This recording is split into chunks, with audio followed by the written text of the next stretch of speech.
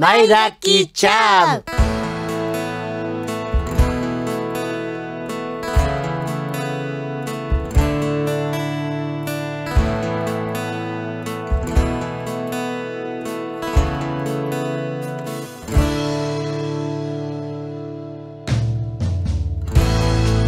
雨が3日続くと塞ぎ込む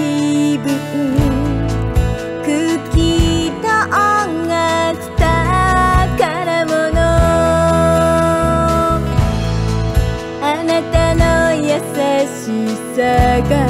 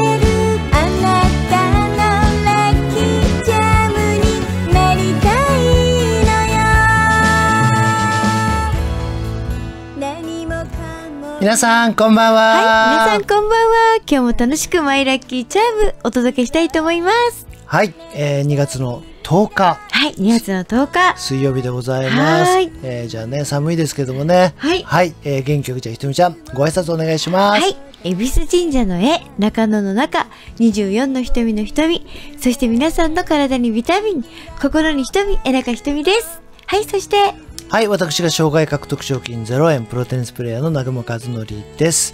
えー、ね、寒いとなんかね、体を動かすの嫌なんですけれども、そうですね。まあ実は僕は年末ぐらいから、ちょっとなんか、えー左肩が痛くって、なんかちょっとしんどかったんですけど、年が明けて、1月の半ばぐらいから今度は腕がこう痺れて、あら、でなんかしびれてる最中っていうのがなんだろうな津波が来るような感じでちょっとずーっと、えー何もできないような状態が続いてまあ12分我慢してるとまあそれが去っていったりするんですけどね辛いですよね。ねどうしたものかなとし思って、ね。一生懸命ねストレッチしたりとかやってたんですけどまあ我慢しきれず、まあ、お医者さんにうん、行きましたらば、うん、えーいろいろレントゲンを取ったりとかうん、うん、調べてもらいましたら、うん、えー頸椎うん。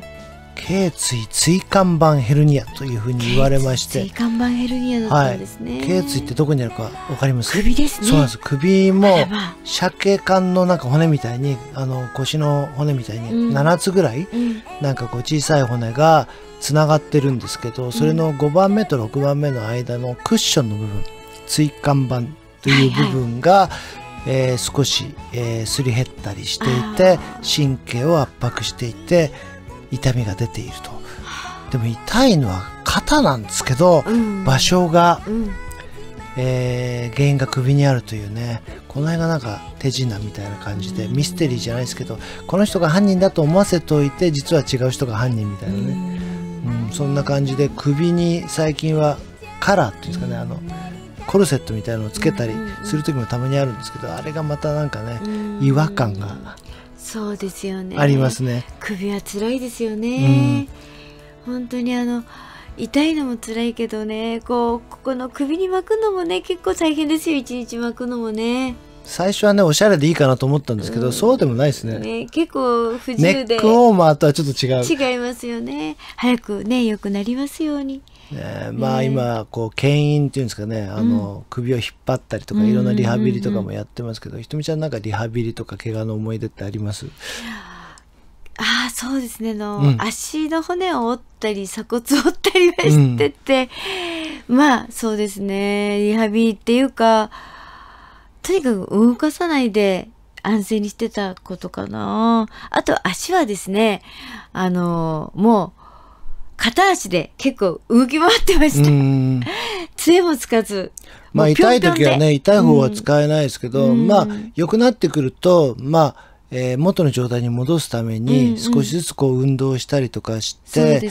可動域を広げていったりとかね、リハビリをしなきゃいけないんですけれども、このリハビリっていうのはなかなか最初のうちはね、痛かったりとか、うん。元に戻らなかったりとか、あのーするのがもどかしくて、めんどくさくてやらないと、まあ、悪化しちゃったりとかね、えーするので、まあ我慢して続けた方がいいと思うんですけど、自分も手の、手首ですかね、折った時は、骨がつながってもやっぱりしばらく痛くて、うんうんうん。お風呂入って、お風呂の湯船の中でこう手のひらをバタバタバタバタやったりグーパーグーパー開いたりとかいうのをずーっとやり続けてましたね。もう10年以上前ですけどいまだにお風呂に入るとその癖が抜けなくて風呂場の中でグーパーやりますね。でもいいことだと思います。こうバタバタとうんね関節が強くなるし、うん。痛みもね、和らぐしね。結局ね1年半ぐらい痛かったんですけどそれやり続けてまあなんとかねうん手首が動くようになりましたけど、まあ病気とかいろんな予防をしたりまあその後のリハビリとかね、うんうんえー病気の最中だけじゃなくてその前後とかね大事ですよねそうですよね。まあ感染症流行ってますけどその予防とかもうん。しなければいけないんですけど僕らがよくあのライブとか収録とかに行く池袋のはい。東口にある劇パーというライブハウスがあるんですけど、はいあそこに行く途中にちょっとねいい薬屋さんがあるんですよね。あ、そうなんですね。はいそこであの、ドリンクをね、うん必ず2つ飲んで、よし、今日も一日頑張るぞと思って、頑張りますね。まあ、はっきりとは明言しないんですけど、えっ、と、感染症に効くとかね、うん書いてあったりするんで、ついついそれを飲むんですけど、そうですね。あのドリンクのおかげですかね、ひとみちゃん全然感染しませんもんね。あ、そうですね。あとね、やっぱり自分は、うんあの、ニンニク注射うん。を月に1本とか2本とか打っていただきます。ニンニク注射っていうのは成分は何でできてるんですか？あれは。ビタミンですね。ビタミンうん、各種ビタミンとか、うんうんうんうん配合されてると思いますね。打った後どんな感じになります？あなんかこう、すごいカーッと体が熱くなって、はい。すごくこう、なんでしょう、元気になりますね、やっぱりね。ん入っていく感じが分かって、ちょっとこう、ニンニクっぽい、こう、なんか匂いがするような。口の中にちょっとなんかニンニクの味がしますよね。そうですね。うん。じゃあなんか大きな、えっと仕事がある時とか疲れたなと思ったらじゃあニンニク注射打って。そうですね、あうん。れちょっとやばいなって、なんか倒れそうだなって思ったりとか、うん。そういう時は、もうすぐ、はい、行きます。うーん。なんかね、あのー楽しいんですね。楽しい注射が。え、え打ってもらうと元気になるので、うん。この痛みが終われば、元気になるんだっていう気持ちがいいですね。じゃあおすすめですねニンニク注射ねはい、ニンニクもいいんですけどそろそろねはい。バレンタインデーでございますねひとみちゃんねそうですね。えー毎年たくさんの数を用意するんだと思いますけどひとみちゃん今年はどのぐらい準備してますか？そうですね。うん1万個とかすごい 冗談です。えー皆さんもらえるかもしれません。ひとみんからね。はい。えーじゃあ、ここで、はいえーメールがね、届いておりますので、ご紹介しましょう。はい。はい。はい。ラジオネーム、大阪のイケメンカズちゃん。かずちゃんさん。はい。はい。リクエスト曲、えなかひとみさんの会ってくださいをお願いいたします。はい。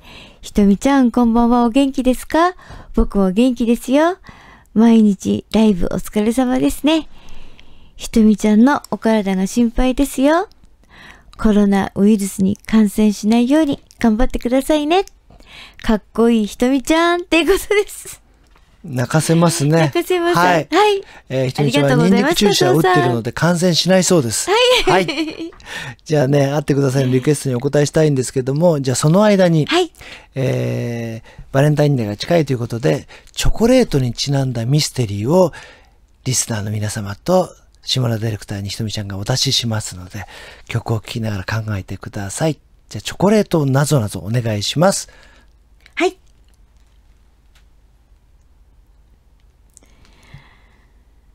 とても美味しいチョコは何枚でしょうか？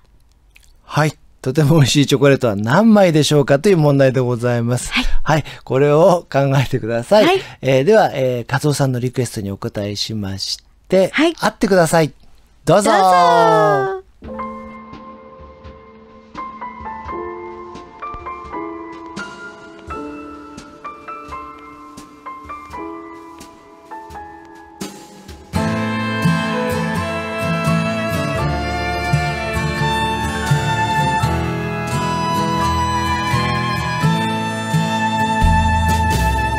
クテイ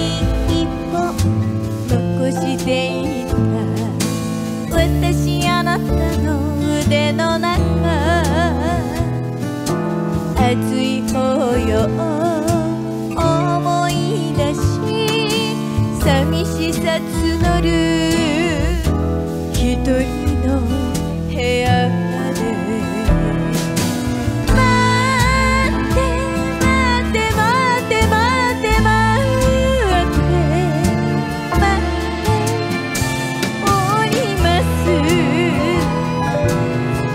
ください。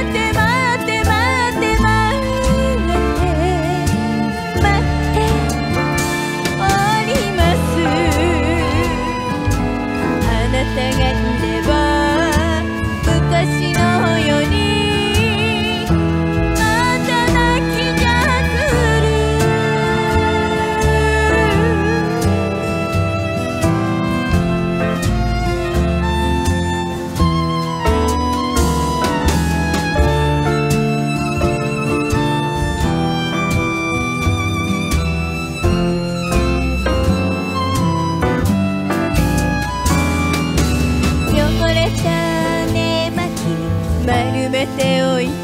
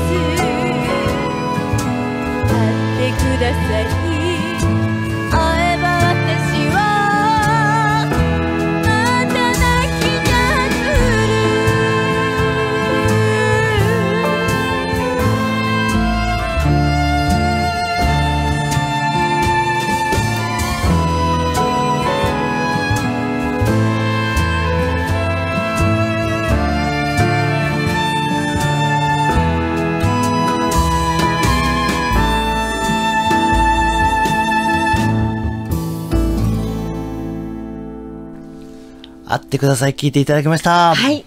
ありがとうございます。大阪のカズちゃん。胸にね、しみる演歌でございますけども、はい。えー問題を考えているリスナーの方々は、それどころじゃなかったかもしれません。はい。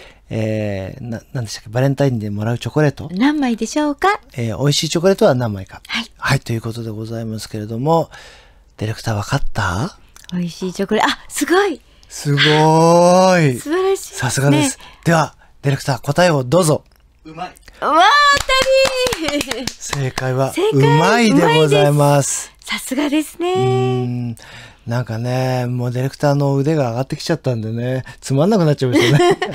来週はもうちょっと難しい問題を用意してください、ひとみちゃんねそうですねそうですねはい。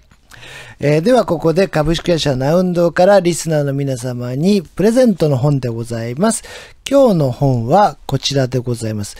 柳田美幸の楽しい女子サッカー。ひとみちゃんも大好きな女子サッカーですね。えーこの本は DVD もついてますので、女子サッカーのいろんな戦術とか技術が、えーわかりやすく説明されております。サッカー不安、サッカー選手、指導者、えー、父兄の皆様、まあ、必読の本ですね。えーこちらの本を今日は何名の方に、5名の方に。はい、プレゼントします。そして番組からもプレゼントがありはい、ます。可愛らしいトートバッグを、はい、お届けしたいと思います。これは1名でございます。はい。では欲しいという方はどのようにすればよいですか？はい。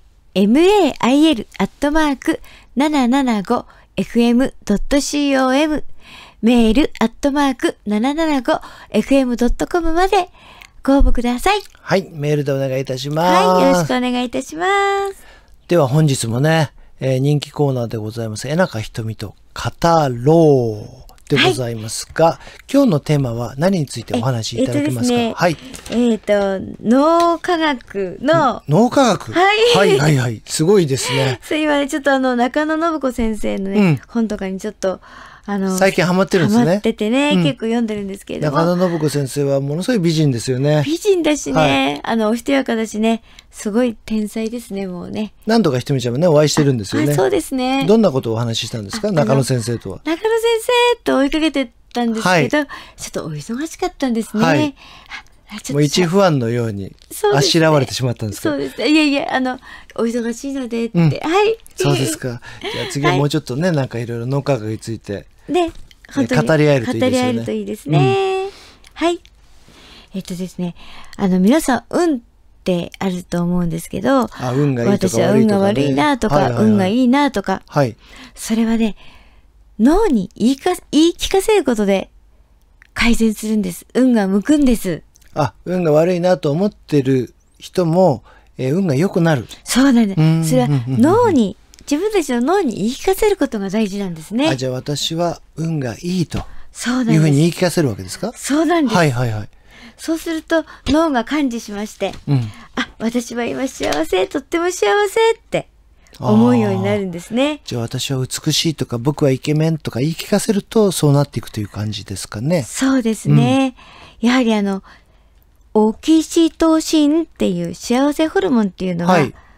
脳の中にありまして、これをですね、いっぱいいっぱい出すためには、うん。自分が幸せだっていうことをきちんと脳に伝えるということが大事なんですね。まあ脳にまあ錯覚させちゃうみたいな感じなんでしょうかね。そうなんですね。でね、運の良い人は開放性と外交性のスコアが高い人が多いんですけうんど、はい。これは何かと言いますと、はい。あの、落ち着いてね、行動して、新しいものに挑戦して、そして自らチャンスをつかむ、この三つのことなんです。うーん、まあじゃあ、えー運が向いてくるためには何かにチャレンジをするという。そう。うん。それをただ、思ってすぐ行動しちゃ、運はつかなくなるので、はい。すぐには行動しないで。落ち着いて落ち着くことです。判断し、はい。そして行動する。うん。そして新しいものを何でもいいからチャレンジする。そして自らチャンスをつかみに行く。うんこの三つのできる人これが流行ってるからとか、これサーフィンやったらモテるかもしれないって言って、すぐに行動しないで、そですこで落ち着いて、はい。どういうサーフボードを持てばいいかとか、そうですね。えーサーフィンをやる前にストレッチとか、そうですねそういうようなことをね、しっかり知識を身につけて行動すればいいわけですね。そう、ちょっと待てよと一呼吸置いて、うん。じゃあ、冷静な判断ですね。冷静な判断で。そう、それでこう行動すると、はい、運が向いてくると思います。そしてあの、ドーパミンという物質があるんですけれはい。ども、脳内物質でございますね。こはい。れの代謝を良くする酵素があるんですね。はい。これを蓄えるためには、ちゃんとバランスのいい食事、うん。バランスのいい運動量、そしてストレスをですね、感じさせないでストレスを作るというか、ああ、これはちょっと難しいですね。ストレスがまるっきりなくてもダメだけど。ダメなんですね。うん。だけど心地よいストレスはいはいをはい。いつも感じていること。ああ、じゃあ紅白に出ることが決まって、明日は紅白だっていう、こう、緊張感みたいな、そうですね。そんな感じでしょうかね。幸せなストレスっていうか、うん。そういうのをね、保っていると、うん。あの、運が向いてくるそうです。なるほどだからね。ね、脳ドは、ーパミンがね、出るとそういでないんですすねね。。脳は常にね、あの、私たちは、こう、脳に左右されるんではなくて、脳に、こう、しつけをするというか、うーん。うまく言えないんですけど、なんかそういったことをね、中野信子先生はお書きになってらっしゃって、ひとみちゃんすごいじゃないですか。えーちなみにこのバランスのいい食生活ですか、はいはい。えーちゃんと食べる、えードーパミンが出るためにおすすめの食材とかありますか？やはりですね、ビタミン、ビタミン。ビタミンがいいそうです。ビタミンもいろいろ種類があるじゃないですか。ビタミン A、はい。C、うん。E 特に取るといいそうですねあと豚肉のビタミン B もうん。疲労回復にいいので、脳の回復を早くするということですね。じゃあカツ丼いいかもしれないですね。お。おお、えー、BGM がね、はい。流れてまいりました、えー忘れなぐさホゲットミーナット、これに乗せて、えーさらに脳科学のお話が続きます。はい、はい。あとは何かありますか？そうであとはですね。はい。はい。そしてですね自分は幸せ幸せっていう気持ちをうん。言葉に何回もして唱えてみてください。あーちゃんとね口に言葉にしてはい。うん。言霊とか言いますもんね。ね、うん。で幸せホルモンオキシトシンをいっぱい出して運を開いていきましょうああじゃあ、うん最近すごくいいのよとか幸せなのよってことを言ってればいいわけですね。そうなんですまあ嫌味にならない程度にね。そうですね。あんまり言ってる人見るとねなんか頭にきちゃったりしますけど その辺は人のなんか感情を逆なでしない程度に、そうですね、うん、例えば自分の奥様がいらっしゃったとして、はい。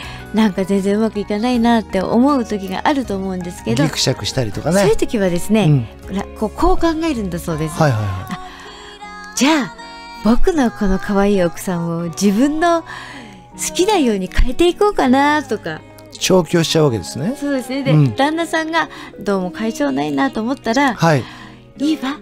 私のこの美貌で解消もういい運を掴んであげるわ。掴ませてあげるわっていうか、うん。うん、そんな風にこう私が彼を幸せにするんだみたいな感じですかね。いやー3年目のマイラッキーちゃんは随分変わってまいりましたね。アカデミックにね。なんかねそういうこと。最近お笑いが少なくなってきましたね。